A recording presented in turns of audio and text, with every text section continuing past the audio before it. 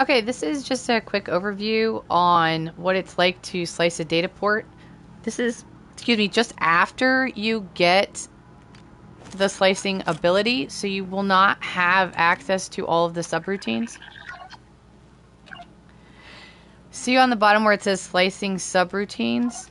There's three subroutines that you can ultimately upgrade the ability to do.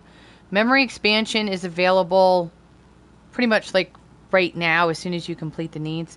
It's on the list.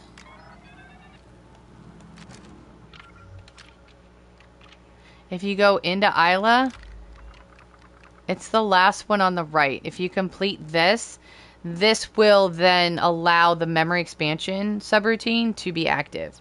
The other two need other upgrades that I haven't gotten to yet because they're still not not available. It would be nice because this syntax sorting will auto place all of the yellow ones to the blue spots and this one will remove some of the unused glyphs, but I haven't even figured out how to upgrade those yet.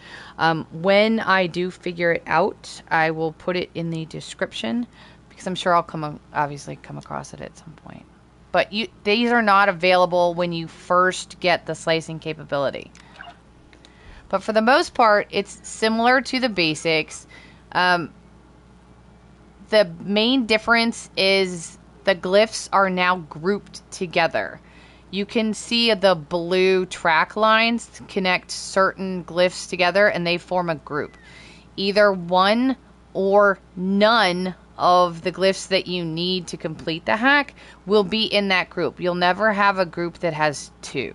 It either has none or one.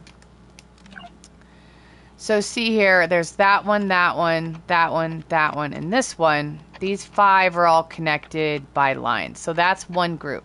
So we'll pick one glyph from there. And then this, it, these are two are connected, so I'll pick one from there.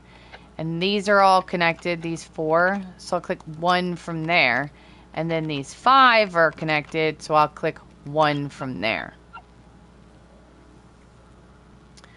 So this yellow one, it cleared everything else out from that same linked group. And it's a shame I can't move the cursor onto those boxes. But you can see that's why those are blank. So now we'll try that in the first slot, just for kicks. And then we'll try that one. And then we'll try the other half of that group. And then we'll try another one from this group. Okay. Try that in the second spot. Try another one from that group and another one from this bottom group. From there and that. Nice. And there you go. And so there's more credits. So that's pretty much how that works. Just pay attention to the groups and then pick one from each group, and that's sort of like your starting point. And then the rest of it's very similar.